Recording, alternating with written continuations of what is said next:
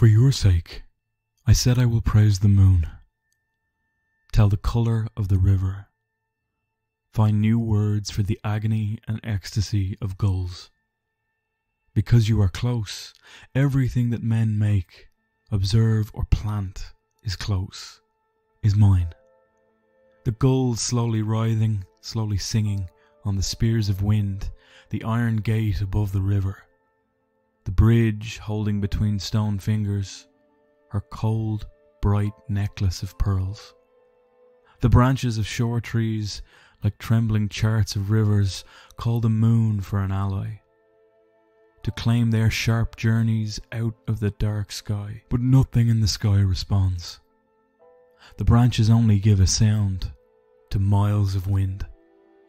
With your body and your speaking, you have spoken for everything, robbed me of my strangerhood, made me one with the root and gull and stone. And because I sleep near to you, I cannot embrace or have my private love with them. You worry that I will leave you. I will not leave you. Only strangers travel. Owning everything, I have nowhere to go. Hello, and welcome to Words That Burn, the podcast taking a closer look at poetry. This week's poem is Owning Everything by Leonard Cohen. This episode is a special one because it's dedicated to my gorgeous partner Hannah. The music and poetry of Leonard Cohen has always been something we both adored and has a very special place in both our hearts. It's difficult to imagine Leonard Cohen as anything other than the cryptic, seemingly ethereal pop star of the 80s or the esoteric gothic crooner of his later career. But in his early years, Leonard Cohen was simply a poet, and a rather excellent one at that. His first three collections let us compare mythologies, the spice box of the earth, and flowers for Hitler, came one after the other during the 50s and 60s. Each collection announced a work of labyrinthine and layered poetry that brimmed with symbolism, spirituality, and most importantly, at least for Cohen, love. I recently heard a wonderful quote from Irish poet Michael Longley. If poetry is a wheel, the hub for that wheel is love poetry. It would be fair to say that Leonard Cohen would have been a massive fan of wheels like that, despite the fact that he was an incredibly prolific poet who wrote on a multitude of themes. Love was always at their core. Within his body of work, it could take any form, from lust to pure romance, or even religious transcendentalism. His handling of these grand themes is mythic in nature. That is not an exaggeration, given the title of his debut collection. It's clear that the supernatural and magical nature of myth was one of the driving forces behind his early work. It is perhaps one of the reasons that Cohen became one of the defining literary figures of the early 60s, whose impact and legacy within the singer songwriter movement of the time is unmistakable, if a little difficult to quantify. From those early poetic beginnings in Montreal, Cohen eventually turned to music for his poetry, frequently creating songs from his verse. His influence only reached greater heights when he came to the attention of record labels, who encouraged him to record his poet songs. His particular brand of gloomy romance was monikered by some as the poet laureate of pessimism the grocer of despair, the godfather of gloom, and perhaps the most memorable, the prince of bummers. This led to another reinvention, this time as the bard of experimental dirge pop. I think music critic Simon Lewson summed up Cohen's capacity as a living reincarnator best when he wrote His life which began in 1934 and ended on the eve of the 2016 US election, was a tribute to the human capacity for self invention. In his 20s, Cohen was a poet and experimental novelist. A decade later, he was one of the world's most distinctive singer songwriters, having recorded a suite of minimalist folk records with gnomic lyrics. By middle age, he had pioneered a new genre of synth heavy spiritual pop, liturgical music for secular people who still wanted to infuse their lives with a sense of the divine. Infusing the everyday with the sense of the divine is exactly what is taking place in this poem, owning everything. The divine force of this poem, however, is something altogether more flesh and blood. In this poem, as in many of Cohen's, the divine is a woman. Academic Simon Riches puts it succinctly when he writes Cohen's relations with women, and indeed female beauty, engender a kind of religious experience, albeit a more hedonistic kind, which is to be accorded something approaching worship. In this poem, however, the religious experience has already taken place, and it has been transformative. The poem's opening stanza is a whirlwind of romantic mysticism, as Cohen writes For your sake, I said I will praise the moon, tell the colour of the river, find new words for the agony and ecstasy of gulls. That opening line is a prayer, or the preface of an invocation. For your sake, the language of our speaker comes out almost like a spell, one used to commune with nature. The speaker turns to the river and the sound of seagulls as they swell and paints each one as almost a sentient thing. He anthropomorphizes a flock of birds and pins one colour to a river that must contain multitudes. And yet, that first line, for your sake, undermines all these acts. The speaker of the poem is not doing this for themselves. It is all in service to another. This does not devalue it, though. These are beautiful acts of romance in themselves. And we get the sense, as an audience, that our speaker might be taking a stroll with the object of his affection. The mystery of why our speaker is performing all these mini acts of worship, and indeed the transcendental nature of their relationship, is made clearer in the next stanza.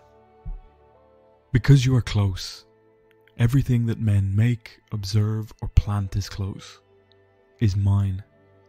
The gulls slowly writhing, slowly singing on the spears of wind, the iron gate above the river, the bridge holding between stone fingers her cold, bright necklace of pearls.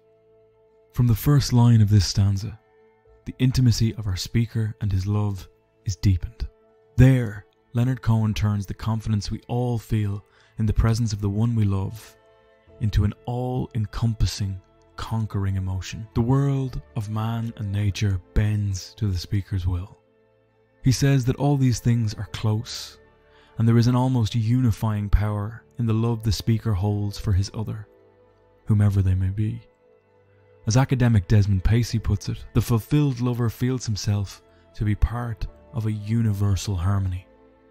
The next set of images is an almost cinematic slow motion scene. The agony and ecstasy of the seagulls in the first stanza is transformed through the beauty of universal harmony into a slowly moving choir of singing. In some ways, this seems almost like a Leonard Cohen version of They Long to Be. There are hints of the famous lines, Why do birds suddenly appear, all over this poem. Though some might find that comparison insulting to Cohen's body of work. Cohen's flair for unique imagery reasserts itself in the phrase spears of wind, describing their movement and coldness all at once. Anthropomorphization, humanizing of the inanimate, returns again in the next few lines. A bridge is two hands reaching out for connection. A river holds its natural stones and gems like pearls. A woman touching their necklace. The world is alive while our speaker is with their desire.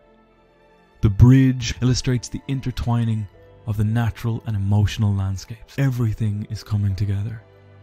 For me, all this living imagery only continues the strong themes of religious experience in the poem. Each one evokes the pagan notion of animism, the belief that objects, places, and creatures all possess a distinct spiritual essence. This kind of deformalized or non structured religion is key to understanding Cohen's particular form of the divine and spiritual. At times, it borders on pure magic in his work. It functions as a kind of grab bag of beliefs, the hallmark of Cohen's, and a major contributing factor to how his poetry and lyrics resonated with listeners far and wide. As academic Harry Freedman put it, Cohen had an almost unique ability to draw on the best of every belief system he encountered. And as far as one can tell from his lyrics, he saw no conflict between any of them. Such harmonious melding is only reinforced by this poem. The speaker's living, enhanced world draws further breath in the next stanza.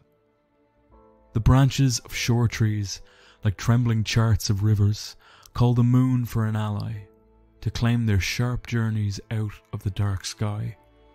But nothing in the sky responds. The branches only give a sound to miles of wind. We move from a hint of spirituality to full blown mysticism in this verse. The cold day and pointed imagery established by spears of wind earlier is given an expansion. From a purely imagery based approach, branches reaching out to the moon seeking an ally in the night sky can be seen as a metaphor for the human longing for connection and understanding the vastness of existence. The branches' journey out of the dark sky and their failure to elicit a response from the celestial realm may reflect the often unanswered quest for meaning in life.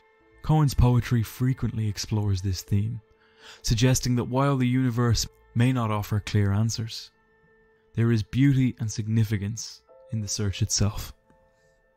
The final lines, describing branches giving sound to the wind, might symbolize the human capacity to find voice and expression, even in the absence of clear communication or understanding.